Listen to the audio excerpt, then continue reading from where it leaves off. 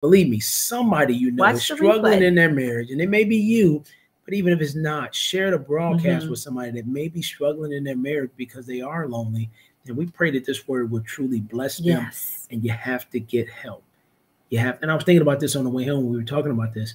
It's amazing how many people go to a church and they still feel lonely in their church Mhm. because they're not committed, they're not involved. And one of the things I used Not to tell our church members is that we got all these ministries in the church, but you won't get involved in any of them. None of them. Because you come to church, you hear the word, check, and then you run out of here. But your marriage needs help. Mhm. You know, your children need to be taught. You know, there's so many things that the church is a place where you all are developed, your gifts are developed, your family is groomed. That's a place where God provides Mhm. everything that you need so that you can be fully equipped to do what He's called you to do. But because you come in there with the mindset, Right. how long we gonna be in here? Let me get up out of here. Mhm.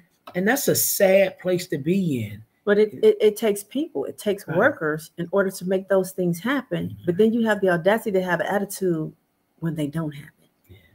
But where are the laborers? get involved. Don't just go to church, become the church.